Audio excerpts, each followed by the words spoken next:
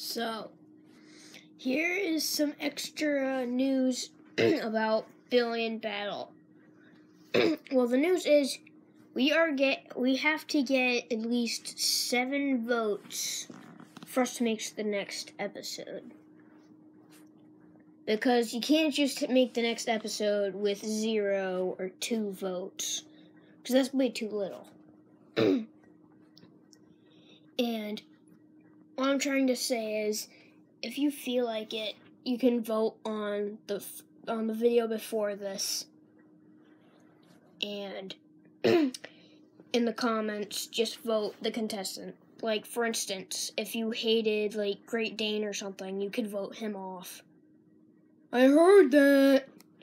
Ah, no one cares about your feelings.